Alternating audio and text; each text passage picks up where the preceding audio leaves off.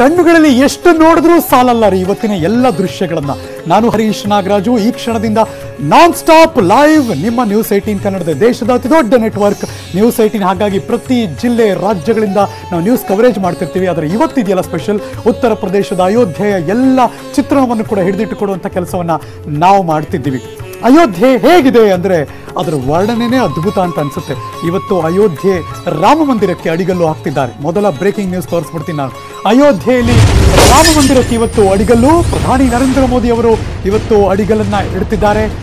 ಅತಿ ದೊಡ್ಡ ನೆಟ್ವರ್ಕ್ನಲ್ಲಿ ಇಡೀ ದೃಶ್ಯಾವಳಿಗಳನ್ನು ಬಿಗ್ ಕವರೇಜ್ ಮಾಡಿಕೊಡುವಂಥ ಪ್ರಯತ್ನ ನಾವು ತುಂಬ ಹೆಮ್ಮೆಯಿಂದ ಮಾಡ್ತಾ ಇದ್ದೀವಿ. ಮರ್ಯಾದ ಪುರುಷೋತ್ತಮನ ಮಂದಿರಕ್ಕೆ ಅಡಿಗಲ್ಲು ಬ್ರೇಕಿಂಗ್ ನ್ಯೂಸ್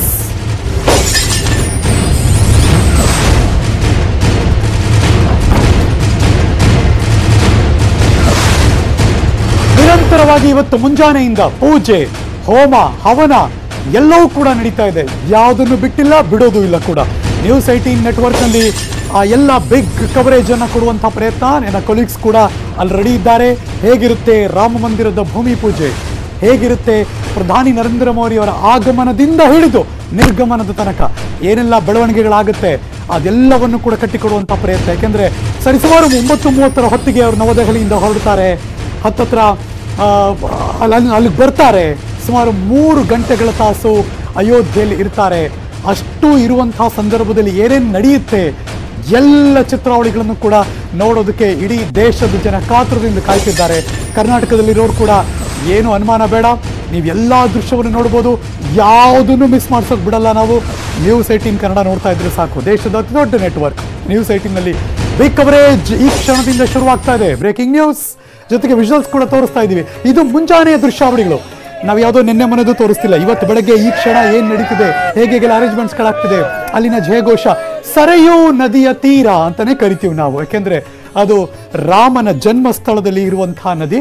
ಹಾಗಾಗಿ ಅಲ್ಲಿಯ ಪುಣ್ಯ ಸ್ನಾನ, ತದನಂತರ ಅಲ್ಲಿ ಪೂಜೆ ಪುನಸ್ಕಾರ, ಎಲ್ಲವೂ ಕೂಡ ಹೇಗೆ ಅರೇಂಜ್ ಆಗಿದೆ ಸರಯೂ ನದಿ ತೀರದಲ್ಲಿ ಅಂದರೆ ಅದು, ಅದೊಂದು ಕಳೆಗಟ್ಟಿದೆ. ಯಾವಾಗಲೂ ಅಷ್ಟೇ ಅಲ್ವಾ?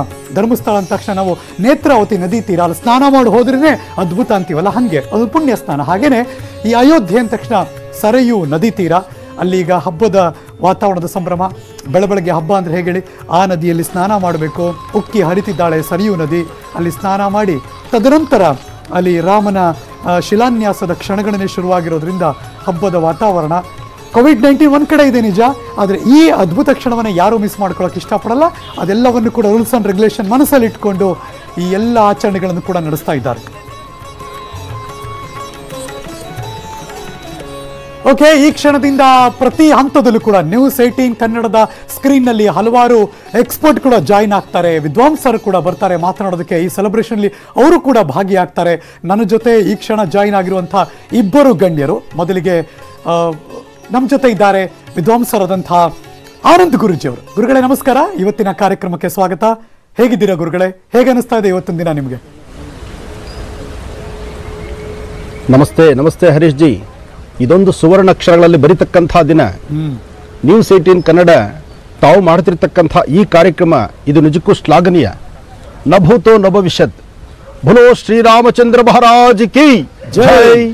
ರಾಮದೇವರನ್ನ ಪ್ರಾರ್ಥನೆ ಮಾಡ್ತಾ ಇವತ್ತಿನ ದಿವಸ ಪ್ರತಿಯೊಬ್ಬರ ಮನಸ್ಸಲ್ಲಿರ್ತಕ್ಕಂಥ ಪ್ರತಿಯೊಬ್ಬರ ಮನಸ್ಸಲ್ಲೂ ಇದೊಂದು ದೊಡ್ಡ ಆಸೆ ಇದೆ. ಐನೂರು ವರ್ಷಗಳ ಹೋರಾಟ. ಹೌದು. ಅಬ್ಬಾ ಎಷ್ಟು ಬಲಿದಾನಗಳಾಯಿತು.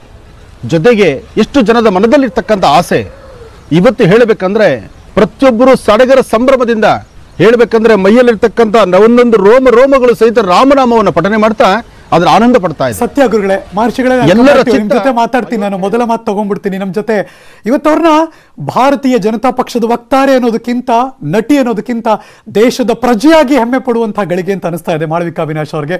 ಮೇಡಮ್ ನಮಸ್ಕಾರ ಗುಡ್ ಮಾರ್ನಿಂಗ್. ಸ್ವಾಗತ. ರಿಮಾರ್ಕೆಬಲ್ ಅಂಡ್ ಮೆಮೊರಬಲ್ ಡೇ ಶುರುವಾಗ್ತಾ ಇದೆ ಇವತ್ತಲ್ಲ.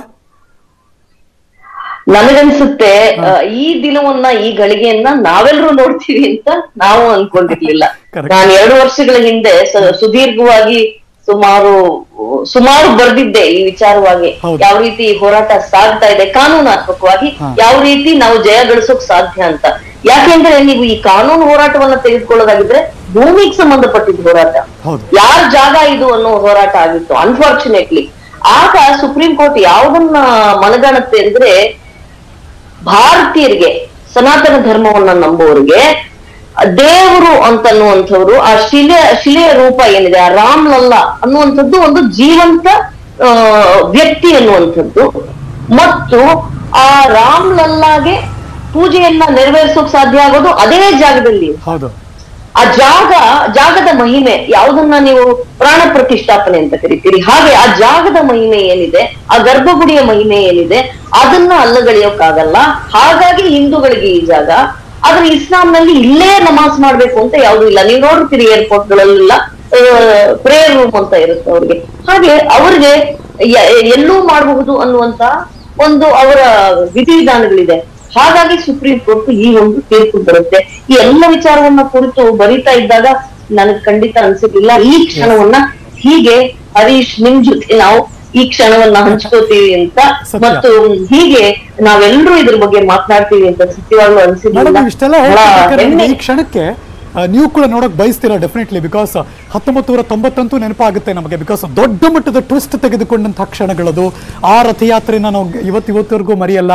ಯಾಕೆಂದ್ರೆ ಲಾಲ್ ಕೃಷ್ಣ ಅಡ್ವಾಣಿ ಅವರನ್ನ ನಾವೆಲ್ಲರೂ ಯಾವಾಗಲೂ ನೆನಪಿಸ್ಕೊಳ್ಳಬೇಕು ನೆನಪಿಸ್ಕೊಂಡೇ ಕೊಂಡ್ತೀವಿ ಇವತ್ತವರು ಆನ್ಲೈನಲ್ಲಿ ಕೂತು ಇವತ್ತಿನ ಕ್ಷಣದ ಬಗ್ಗೆ ತಮ್ಮ ಅನಿಸಿಕೆಯನ್ನು ಕೂಡ ಹಂಚಿಕೊಂಡಿದ್ದಾರೆ ಆನಂದ್ ಗುರುಜಿ ಒಂದ್ ಕಡೆ ಇದ್ದಾರೆ ಮಾಳವಿಕಾ ವಿನೇಶ್ವರ್ ಇನ್ನೊಂದ್ ಕಡೆ ಇದ್ದಾರೆ ಮೇಡಮ್ ನಾವೆಲ್ಲರೂ ಕೂತ ಈ ಕ್ಷಣಕ್ಕೆ ಲಾಲ್ ಕೃಷ್ಣ ಅಡ್ವಾಣಿ ಅವರು ಏನ್ ಮಾತಾಡಿದ್ದಾರೆ ಅಂತ ನೋಡ್ಬೇಕು ಅನ್ನೋ ಕುತೂಹಲ ಆನಂದ್ ಗುರುಜಿ ಅವರೇ ನೋಡ್ಬೋಣ ಒಂದ್ಸರಿ ಲಾಲ್ ಕೃಷ್ಣ ಅಡ್ವಾಣಿ ಅವರು ಏನ್ ಮಾತಾಡಿದ್ದಾರೆ ಈ ಕ್ಷಣ ಅಂತ ಲೆಟ್ಸ್ ಗೋ जीवन के कुछ सपने पूरा होने में बहुत समय लेते हैं किंतु जब वो चरितार्थ होते हैं तो लगता है कि प्रतीक्षा सार्थक हुई।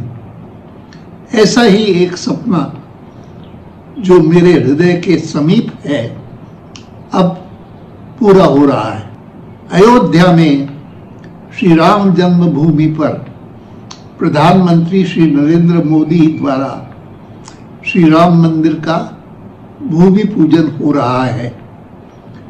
निश्चय ही केवल मेरे लिए ही नहीं, बल्कि समस्त भारतीय समुदाय के लिए ये क्षण ऐतिहासिक हैं और भावपूर्ण भी। श्री राम जन्मभूमि पर श्री राम के भव्य मंदिर का निर्माण भारतीय जनता पार्टी का एक स्वप्न रहा है और मिशन भी। मैं विनम्रता का अनुभव करता हूँ कि नियति ने मुझे वर्ष 1990 में राम जन्मभूमि आंदोलन के दौरान सोमनाथ से अयोध्या तक राम रथ यात्रा का दायित्व प्रदान किया और इस यात्रा में ने असंख्य लोगों की आकांक्षा ऊर्जा और अभिलाषा को प्रेरित किया। इस शुभ अवसर पर मैं उन सभी संतों, नेताओं और देश विदेश के जनमानस के प्रति कृतज्ञता व्यक्त करता हूँ। ಲಾಲ್ ಕೃಷ್ಣ ಅಡ್ವಾಣಿಯವರ ಮಾತು ಆನ್ಲೈನಲ್ಲಿ ಕೂತು ಎಲ್ಲವನ್ನು ಕೂಡ ಅವರು ವೀಕ್ಷಣೆ ಮಾಡ್ತಿದ್ದಾರೆ. ಮಾಳವಿಕಾ ಅವಿನಾಶ್ ಅವರೇ ಮೂವತ್ತು ವರ್ಷದ ಹಿಂದೆ, ಆಗ ಅವರಿಗೆ ಅರವತ್ತು, ಅರವತ್ತೆರಡು ವರ್ಷದ ವಯಸ್ಸು, ಗುಜರಾತ್ನ ಸೋಮನಾಥದಿಂದ ಹಿಡಿದು ಉತ್ತರ ಪ್ರದೇಶದ ಅಯೋಧ್ಯೆ ತನಕ. ಹೋಗೋಕೆ ಬಿಡಲಿಲ್ಲ ಅನ್ನೋದು ಬೇರೆ ಮಾತು. ರಥಯಾತ್ರೆಯ ಅದ್ಭುತ ಕ್ಷಣ. ಬಿಹಾರದಲ್ಲಿ ಅರೆಸ್ಟ್ ಮಾಡಿದ್ರು. ಎಲ್ಲ ನಡೆದೋಯ್ತು. ಇವತ್ತು ಅವ್ರು ಕೂತು ಎಂಥ ಸಂಭ್ರಮ. ಅವ್ರಿಗಿರುವಂಥ ಮೆಮೊರಿ ಮತ್ತು ಅವ್ರಿಗಿರುವಂಥ ಖುಷಿ ಎಂಥದ್ದು ಅಂತ ಅನ್ಸಲ್ವಾ ಈಗ?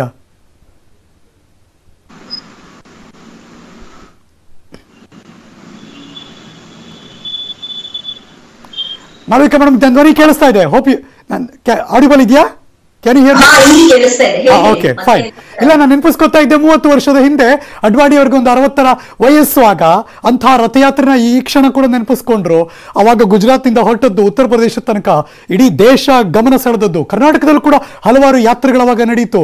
ಇವತ್ತು ಅವರೇ ಸಾಕ್ಷಿ ಆಗ್ತಿದ್ದಾರೆ ಅಂದಾಗ ಅವ್ರಿಗಿಂತ ಇನ್ಯಾರು ಖುಷಿ ಪಡ್ಬೇಕಲ್ವಾ? ಅವರು ನನಗನ್ಸುತ್ತೆ ನಮ್ಮೆಲ್ರಿಗೂ ರೋಮಾಂಚನ ಅಂದ್ರೆ ನಮ್ಮೆಲ್ರಿಗಿಂತ ನೂರು ಪಟ್ಟು ಹೆಚ್ಚಿನ ರೋಮಾಂಚನ ಅವ್ರಿಗಾಗತ್ತೆ. ಯಾಕೆಂದ್ರೆ ಸೋಮನಾಥದಿಂದ ಅಯೋಧ್ಯೆವರೆಗೆ ಅವರು ಈ ರಥಯಾತ್ರೆಯನ್ನ ಮಾಡುವಾಗ ಅವ್ರು ಅನುಭವಿಸಿದಂತಹ ಕಷ್ಟಗಳೇನೋ ಅವ್ರು ಮಾಡುವಂತಹ ಹೋರಾಟಗಳೇನೋ ಅಲ್ಲಲ್ಲ ಅವ್ರನ್ನ ಅರೆಸ್ಟ್ ಮಾಡ್ತಾ ಹೋಗ್ತಾರೆ. ಈಗ ಅದೆಲ್ಲ ಮಾತಾಡ್ತಾ ಕೂತ್ಕೊಂಡ್ರೆ ರಾಜಕೀಯವಾಗ್ಬಿಡುತ್ತೆ. ಹಾಗಾಗಿ ನಾನು ಹೆಚ್ಚು ಅದನ್ನ ಪ್ರಸ್ತಾಪ ಮಾಡಕ್ ಹೋಗೋದಿಲ್ಲ. ಆದ್ರೆ ತದನಂತರದಲ್ಲಿ ಅವರು ಅನುಭವಿಸಿದಂತಹ ಕಾನೂನಾತ್ಮಕ ಕಷ್ಟಗಳೇನು ಅವ್ರ ಮೇಲೆ ಎಫ್ಐಆರ್ ಆಗಿದ್ದೇನೋ ಅವ್ರ ಮೇಲೆ ಬೇರೆ ಬೇರೆ ರೀತಿಯ ಕೇಸ್ಗಳಾಗಿದ್ದೇನೋ ಎಲ್ಲ ಕೇಸಸ್ ಅವ್ರು ಫೇಸ್ ಮಾಡ್ಬೇಕಾಯ್ತು. ಹೀಗೆ ಒಬ್ಬೊಬ್ಬರ ಹೋರಾಟ ವಿಭಿನ್ನವಾದ್ದು ಆ ನಾನು ಈಗಾಗಲೇ ಪೇಜಾವರ್ ಶ್ರೀಗಳನ್ನ ಜ್ಞಾಪಿಸ್ಕೊತಾ ಇದ್ದೆ. ಅಂತಹ ಮಹಾನ್ ಸಂತರು ಎಷ್ಟು ಜನ ಹೋರಾಟ ಮಾಡಿದ್ದಾರೆ. ದಯಾನಂದ ಸರಸ್ವತಿಗಳು. ಹೀಗೆ ಹತ್ತು ಹಲವರು ಪ್ರಾಯಶಃ ಅವರು ಇವತ್ತಿಲ್ಲ. ಪೇಜಾವರ್ ಶ್ರೀಗಳು ಇದ್ದಿದ್ರೆ ಬಹಳ ಖುಷಿ ಪಟ್ಟರು ಅವರು. ಹೀಗೆ ಹತ್ತು ಹಲವು ಸಂತರು ಆ ಹಲವಾರು ನಮ್ಮ ನಾಯಕರುಗಳು ಉಮಾ ಭಾರತಿಯವರು ಇರ್ಬೋದು ದ ಗ್ರೇಟ್ ಅಶೋಕ್ ಸಿಂಗಲ್ ಇರ್ಬೋದು ಅಡ್ವಾಣಿಜಿ ಇರ್ಬೋದು ಮುರಳಿ ಮನೋಹರ್ ಜೋಶಿ ಅವರಿರ್ಬೋದು ಹೀಗೆ ಹಲವಾರು ಜನರ ಪ್ರತ್ಯೇಕವಾದ ಹೋರಾಟದ ಏಕರೂಪ ಸಂಕಲ್ಪದ ಒಂದು ಪ್ರತೀಕ ಅದು ನೆರವೇರ್ತಾ ಇದೆ ಇವತ್ತು. It is a reclamation of sorts Harish ಸಾವಿರ ವರ್ಷಗಳ ಕಾಲ ನಮ್ಮ ಮೇಲೆ ದಾಳಿಯಾಗಿದೆ ಸನಾತನ ಧರ್ಮದ ಮೇಲೆ. ಮತೀಯ ದಾಳಿಯಾಗಿದೆ ಸಾವಿರ ವರ್ಷಗಳ ಕಾಲ ಸುಮಾರು ಏಳನೇ ಶತಮಾನದಿಂದ ಹದಿನೇಳು ಹದಿನೆಂಟನೇ ಶತಮಾನದವರೆಗೂ ಈ ಎಲ್ಲದಕ್ಕೆ ನಮ್ಗೊಂದು ರೀತಿ ಸಮಾಧಾನ ಆಗ್ಬೇಕಲ್ವಾ? ನಮ್ಮ ಮೇಲಾಗಿದ್ದ ಮತೀಯ ದಾಳಿಗೆ ಅದರ ಅದರ ಪ್ರತಿರೂಪ ಇದು. It's a reclamation. Of who this civilisation is ಇದು ಇದು ಮತ ಜಾತಿ ಅಂತ ಇದಕ್ಕೆ ರೆಸ್ಟ್ರಿಕ್ಷನ್ ಇಲ್ಲ. ಇದೊಂದು ದೊಡ್ಡ ನಾಗರಿಕತೆ ಒಂದು ಸಭ್ಯತೆ ಸಾವಿರಾರು ವರ್ಷಗಳ ಇತಿಹಾಸ ಇರುವಂತಹ ಸನಾತನ ಧರ್ಮ. ಅದರ ಒಂದು ರಿಕ್ಲಮೇಷನ್ ಇವತ್ತು ಯಾವುದನ್ನ ಪುನರುತ್ಥಾನ ಅಂತೀವಿ. ಯಾವುದನ್ನ ಉತ್ಥಾನ ಅಂತೀವಿ ಆ ತರದ್ದಿದು ಸೊ ಇದು ಅದರ ಪ್ರತೀಕ. ಅಂದ್ರೆ ನಮ್ಮೆಲ್ಲರ ನೋವನ್ನ ತೀರಿಸ್ಕೊಳ್ಳೋದಕ್ಕೆ ಇಂತಹ ಒಂದು ಭವ್ಯವಾದ ರಾಮ ಮಂದಿರ ರಾಮನ ಜನ್ಮಸ್ಥಾನದಲ್ಲಿ. That. Is most important case ಇದ್ದಿದ್ದು ಅದೇ ಅಲ್ವಾ? ರಾಮನ ಜನ್ಮಸ್ಥಾನ ರಾಮನಿಗೆ ಸೇರ್ಬೇಕು ಅನ್ನೋಂಥದ್ದು ಅದಕ್ಕೆ ನೆರವೇರ ಈ ನೆರವೇರಿಕೆಗೆ ನೆರವಾದಂತವರು ಎಂತಹ ಮಹಾನ್ ವ್ಯಕ್ತಿಗಳಿದ್ದಾರೆ? ಕೆ ಕೆ ಮೊಹಮ್ಮದ್ ತಗೊಳ್ಳಿ ನೀವು. ವಾಟ್ ಎ ಗ್ರೇಟ್ ಹಿಸ್ಟೋರಿಯನ್ ಅಲ್ವಾ? ಆರ್ಕಿಯಾಲಜಿಕಲ್ ಸೊಸೈಟಿ ಆಫ್ ಇಂಡಿಯಾ ಈ ಪುರಾತತ್ವ ಇಲಾಖೆಯಲ್ಲಿ ಕೆಲಸ ಮಾಡ್ತಾ ಇದ್ದಂತ ಅವರು ತಂದ್ಕೊಟ್ರು ಸಾಕ್ಷ್ಯಾಧಾರಗಳನ್ನ. ಹೌದು ಇಲ್ಲಿ ರಾಮ ಮಂದಿರ ಇತ್ತು. ಆ ಮಂದಿರವನ್ನ ಕೆಡವಿ ಬಾಬರ್ ಕಾಲದಲ್ಲಿ ಮಸೀದಿಯನ್ನ ಕಟ್ಟಲಾಯ್ತು ಅಂತ ಅವ್ರು ಕೊಟ್ಟಂತಹ ಸಾಕ್ಷ್ಯಾಧಾರಗಳನ್ನ ಪುರಾವೆಯನ್ನ ಇಟ್ಕೊಂಡು ಆ, ಸುಪ್ರೀಂ ಕೋರ್ಟ್ ನಮ್ಗೆ ಜಡ್ಜ್ಮೆಂಟ್ ಆ ಹಿಸ್ಟ್ರಿಯನ್ನು ಕ್ಷಣಕ್ಕೆ ಮೇಡಮ್ ಮೆಲ್ಕ್ ಹಾಕ್ಬೇಕಾದ್ರೆ ಇವತ್ತಿನಿಂದ ಇನ್ನೊಂದು ಹಿಸ್ಟ್ರಿ ಕ್ರಿಯೇಟ್ ಆಗ್ತಿದೆಯಲ್ಲ ಅಂತ ಇನ್ನೊಂದು ಕಡೆ ಯೋಚನೆ ಮಾಡಿದಾಗ ವಾವ್ ಅಂತ ನಿಜವಾಗ್ಲೂ ಅನ್ಸುತ್ತೆ. Madam welcome come back to you because ಒಂದು ಕಡೆ ವಿಶ್ವಾಸ ಕೂಡ ತೋರಿಸ್ತಾ ಇದ್ದೀವಿ ನರೇಂದ್ರ ಮೋದಿ ಅವರು ಇವತ್ತು ಹನ್ನೆರಡು ಗಂಟೆ ಹದಿನೈದು ನಿಮಿಷಕ್ಕೆ ನೆರವೇರಿಸ್ತಿರುವಂತಹ ಆ, ಶಿಲಾನ್ಯಾಸದ ಕಾರ್ಯಕ್ರಮ ಭಾಷಣ ಮಾಡುವಂಥ ವೇದಿಕೆಗಳು ಅದೆಲ್ಲ ಹೇಗೆ ಸಜ್ಜಾಗ್ತಿದೆ ಅಂತ ಒಂದು ಕಡೆ ತೋರಿಸ್ತಾ ಇದೀವಿ. ಮಗದೊಂದು ಕಡೆ ಆನಂದ್ ಗುರುಜಿಯವರು ನಮ್ಮ ಜೊತೆ ನೇರ ಸಂಪರ್ಕದಲ್ಲಿದ್ದಾರೆ. ಮಹರ್ಷಿ ಆನಂದ್ ಗುರುಗಳೇ ಇವತ್ತಿನ ದಿನಕ್ಕಿಂತ ಇನ್ಯಾವ ಒಳ್ಳೆ ಕಾಲ ಒಳ್ಳೆ ದಿನ ನಮಗೆ ಬರೋಕ್ ಸಾಧ್ಯ ಅನ್ಸಲ್ವಾ?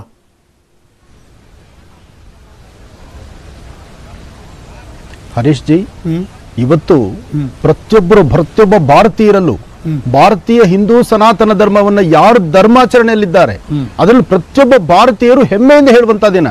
ಬಹುಶಃ ಅವರ ಜೀವನದಲ್ಲಿ ಅದರಲ್ಲೂ ನಮಗೆ ಸಿಕ್ಕಂತ ಈ ಸೌಭಾಗ್ಯ ಅದನ್ನು ಕಣ್ತುಂಬಿಸ್ಕೊಳ್ಳುವಂತಹ ಭಾಗ್ಯ ಅದರಲ್ಲೂ ಎಷ್ಟೋ ಜನ ಬಲಿದಾನರಾಗಿದ್ದಾರೆ. ಇಷ್ಟು ಮುಂಚೆ ಮಾಳವಿಕ ಅವರು ಹೇಳ್ತಾ ಇದ್ರು ಪೇಜಾ ವರ್ಷಗಳನ್ನ ನೆನೆಸಲೇಬೇಕು ಅಂತ ಖಂಡಿತ ನೆನೆಸುವಂತಹದ್ದು. ಯಾಕೆಂದ್ರೆ ಅಂತಹ ಸಂತರು ಎಷ್ಟೋ ಜನ ಪ್ರಾಣ ಬಲಿದಾನ ಆಗಿದೆ.